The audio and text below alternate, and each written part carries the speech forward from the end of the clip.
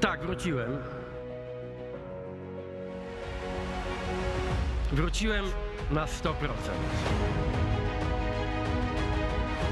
Z wiarą w to, że można zmienić ten fatalny układ, który dzisiaj dusi Polskę.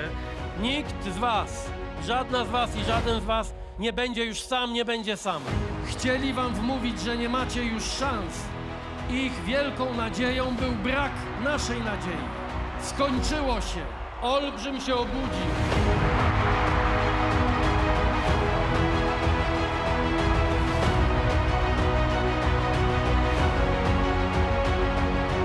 Wygraliśmy demokrację, wygraliśmy wolność, wygraliśmy znowu naszą kochaną Polskę.